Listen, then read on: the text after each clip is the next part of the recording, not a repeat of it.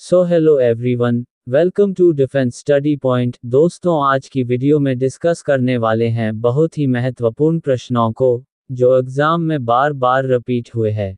इसलिए वीडियो को अंत तक देखना, और वीडियो अच्छी लगे तो लाइक ज़रूर करें, और ऐसी ही हेल्पफुल वीडियो देखने के लिए चैनल को ज़रूर सब्सक्राइब करें। क्वेश्चन नंबर एक, भारत में हाई कोर्ट की कुल संख्या कितनी है? ऑप्शन है ए बाईस बी पच्चीस सी, छब्बीस, डी, अट्ठाईस, इसका सही जवाब है, ऑप्शन बी, पच्चीस। क्वेश्चन नंबर दो, कोशिका की खोज किसने की थी? ऑप्शन है, A, Edward Jenner B, Robert Hooke, C, Robert Koch, D, McCullen, इसका सही जवाब है, ऑप्शन बी, रॉबर्ट होक ने। क्वेश्चन नंबर तीन राज्यसभा में अधिकतम सदस्यों की संख्या है। ऑप्शन है, ए 210 सदस्य, बी 225 सदस्य, सी 250 सदस्य, डी 300 सदस्य। इसका सही जवाब है, ऑप्शन सी 250 सदस्य। क्वेश्चन नंबर चार, जापान की मुद्रा क्या कहलाती है? ऑप्शन है, ए, युआन, बी, येन, सी, पिसो। डी दिनार इसका सही जवाब है। Option B yen question number पाँच. दांडी स्थल गुजरात के किस ज़िले में स्थित है?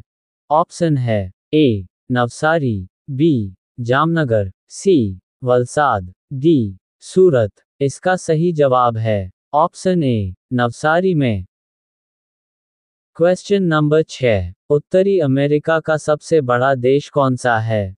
ऑप्शन है A, Cuba, B, Mexico, C, Canada, D, America. इसका सही जवाब है option C, Canada. Question number सात, सार्क देशों की कुल संख्या कितनी है? ऑप्शन है ए, आठ, बी, दस, सी, सात, डी छ इसका सही जवाब है ऑप्शन ए, आठ। क्वेश्चन नंबर आठ यूनेस्को का मुख्यालय कहाँ स्थित है? ऑप्शन है, A, Paris, B, Geneva, C New York D, London. इसका सही जवाब है, ऑप्शन ए, पेरिस में। क्वेश्चन नंबर नौ, जोरजिला दर्रा किस राज्य में स्थित है? ऑप्शन है, A, Sikkim, B, Jammu Kashmir, C, Uttarakhand, D, Arunachal Pradesh. इसका सही जवाब है, ऑप्शन बी, जम्मू कश्मीर में। क्वेश्चन नंबर दस, मुस्लिम लीग की स्थापना कब हुई थी? ऑप्शन है ए 1906 बी 1912 सी 1914 डी 1917 इसका उत्तर कमेंट बॉक्स में बताएँ, तथा वीडियो पसंद आए तो लाइक करें और ऐसी ही हेल्पफुल वीडियो देखने के लिए चैनल को सब्सक्राइब ज़रूर करें। थैंक्स फॉर वॉचिंग, जय हिंद।